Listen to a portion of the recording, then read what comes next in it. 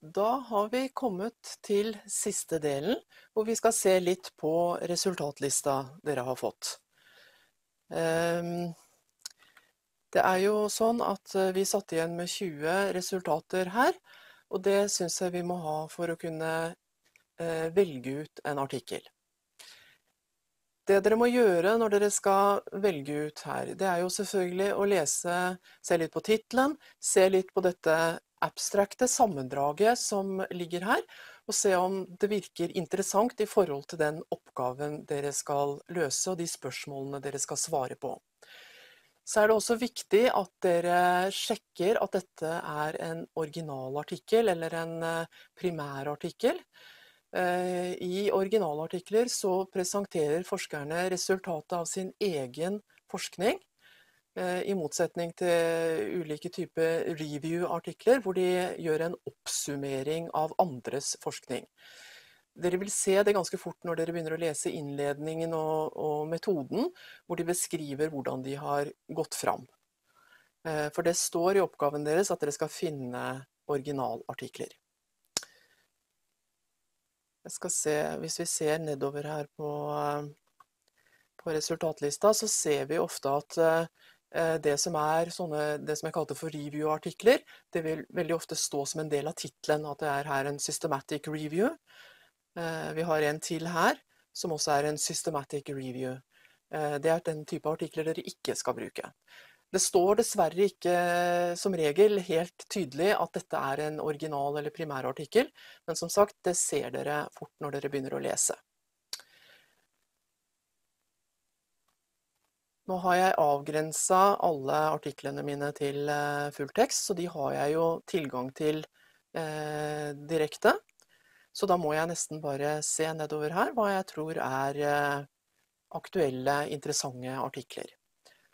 Her f.eks. har vi en artikkel hvor pasientene eh, forteller hvordan det er å leve med eh, trykksår. Kanskje det er en aktuell artikkel. Da åpner jeg den bare her. Eh, med å trykke på PDF-lenka. Så kommer jeg rett inn her. Da får jeg hele teksten, og den kan jeg skrive ut eller eh, lagre alt ettersom jeg vil, eh, vil jobbe. Og da ser dere nedover her at artikkelen kommer først med en introduction, altså en liten bakgrunn for hvorfor de satte i gang med dette forskningsarbeidet.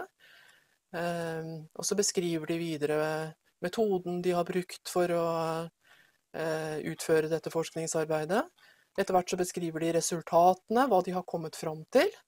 Eh, og ofte til slutt så har de en eh, diskusjon rundt disse resultatene. Hva betyr det egentlig? Må vi f.eks. For forandre måten vi tenker på eller arbeider på? Og så har de en konklusjon til slutt.